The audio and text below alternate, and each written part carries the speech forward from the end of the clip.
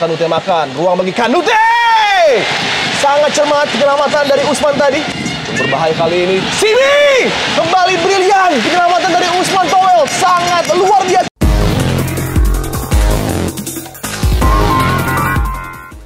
Wasit Prastio Hadi memeriksa kelengkapan pertandingan tentunya dan tidak melepaskan peluang sedikit pun bagi tim tuan rumah dan mitra sepak bola. Kita lihat kick off babak kedua dari Stadion Kaharudin Nasution Rumbai. Posisi favoritnya di Glenn Tusuk masuk dari sisi kiri pertahanan Persisam Samarinda. Sebuah long ball harus berhati-hati Usman. Tidak begitu dominan. Ya. Namun serapan yang sangat baik dari para pemain bertahan Persisam Samarinda mengakibatkan mereka kerap kali memberikan serangan balik yang berbahaya dan kali ini sebuah peluang bagi tim tuan rumah bagaimana pendekatan performa mereka di babak pertama. Kita lihat bagaimana PSPS sering kali melakukan long ball langsung ya. Ini kan artinya menekan. Jadi juga punya kemampuan shooting ya. Ya, tembakan langsung sayang sekali dari JB tadi. Setelah mendapatkan tackling dari Ilham tadi. Bahaya sebetulnya ya. Ilham tidak harus mengambil seperti ini kita lihat. Ibrahim Lovenian dan nampaknya akan dipercaya menjadi eksekutor. Satu asis sudah diberikan di gol pertama tadi. Kembali Ibrahim Lovenian terlepas dari penggapaian penjaga gawang Amin tadi. Balik peluang Persisam Samarinda. Belum bisa dimanfaatkan tadi sebuah peluang Pape Ndiaye kali ini sebuah pelanggaran tadi. Resiko bagi Ibrahim Iya. sebetulnya ya karena sudah kartu kuning. Untuk makan di sana juga Ade Suhendra. Set piece dari Ade Suhendra. Iya. Arah atau target yang Glenn Paulakan. Ini kita lihat cerdik, anak muda berani ya, 21 tahun Radiansyah. Ya, berikan ruang bagi Kanute makan. Akselerasi masuk, cukup berbahaya kali ini, namun sayang sekali. Datang kembali sebuah serangan dari Ilham, sebuah cutback kali ini. Ruang kali ini bagi PSPS Pekanbaru. Oh, hampir saja terlepas. Handball nampaknya. Jiwi yang harus beradu tadi. Dengan Pierre Yangka. Ini dia tayangan ulang peluang dari Jibi tadi dan oh tersangkut Betul sekali. Yap. Engkel kaki kiri GB. Predator yang cukup mematikan bagi PSPS terlepas Lansine Kone tembakan berputar tadi ya Membelakangi gawang dia melepaskan diri dari pengawalan Joel Simi.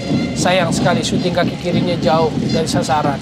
Tapi ini Ibrahim Lovenian berkreasi bagi Persisam Samarinda kembali Kone terlepas kali ini Lansine Kone tembakan kencang beruntung masih dapat diblok tadi oleh penjaga gawang Amin upaya dari Lansine Kone pemain asal Pantai Gading yang kerap kali mengancam gawang PSPS Pekanbaru ya Persisam tiba-tiba lagi menemukan sentuhan passing-passing pendeknya lalu Ya. kemudian ada gerakan mengejutkan atau shooting mengejutkan dari Kone ya. Beruntung kita lihat. Kesalahan lini pertahanan, Pape Ndiaye terlepas kali ini. Kanute makan! Tembakan yang lagi-lagi masih dapat diselamatkan oleh Usman. Peluang pertama bagi Kanute. Makan. Ancaman pertama kita lihat Towel cukup terbebas. Kanute makan lepaskan tembakan kaki kiri yang tidak sempurna tadi akibat mendapatkan pressure dari Robi. Betul. Dan kembali kali ini Pape Ndiaye sangat cepat melihat ancaman. Kembali Kanute makan. Oh. Jelas pelanggaran ya. Iya. Kartu kuning, tidak ada lagi pilihan bagi wasit. Performnya lebih membaik di babak Ya. kedua kita lihat. Ada ruang di mana skill individunya keluar. Sementara bagi Persisam yang identitas mainnya Rohit Chan menuju yang jauh. Pape Ndiaye heading tadi. Masih tipis berada di sisi gawang dari Usman. Upaya dari Pape Ndiaye dan untuk kesekian kalinya ya model seperti ini set piece seperti ini mengarah pada target man Papendiaye Ya. dia pintar menghindari Pierre Jangka. Dia memilih marking pemain yang bukan Pierre Jangka Bayu Gatra kembali peluang berbahaya Bayu Gatra Oh. tembakan dari luar kotak penalti yang hampir saja mengejutkan publik Askar The King Kembali pemain muda Bayu Gatra menunjukkan kualitasnya ya. Kaki kirinya mengarah ke gawang yang Ya. dikawal Amin.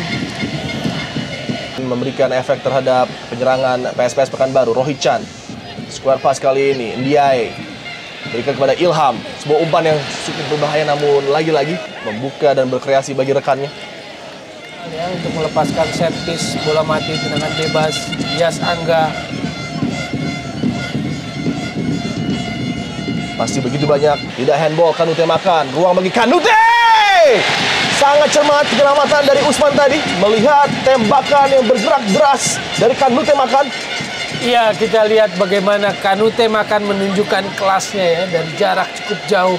Shooting kaki kanan, powerful, keras. Nyaris saja Usman tidak bisa memblok bola bola yang mengarah ke dirinya.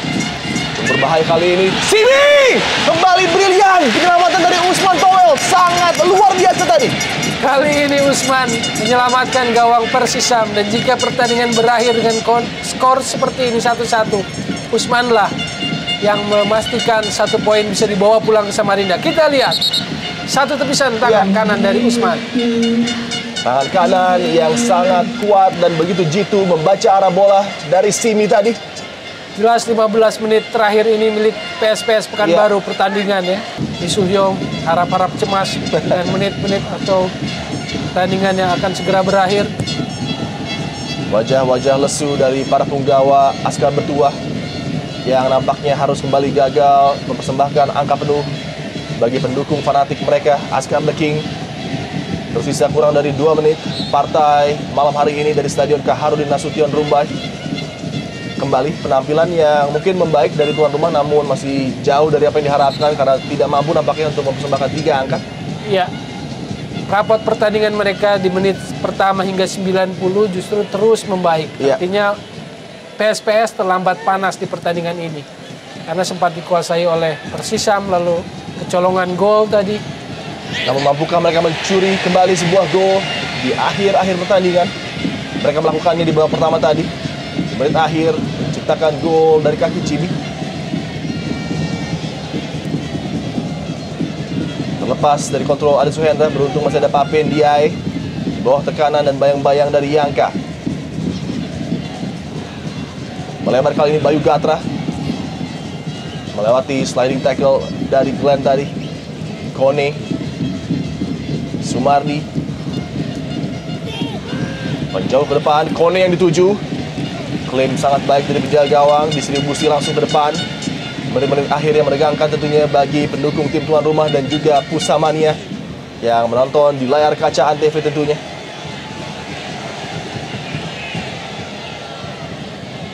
PSPS menjadi tim yang lebih baik di babak kedua ya. ya. Tapi kita lihat juga Persisam segala upaya lakukan Isna ini. Salah satu peluang terakhir, Toel mungkin bagi PSPS. Ya.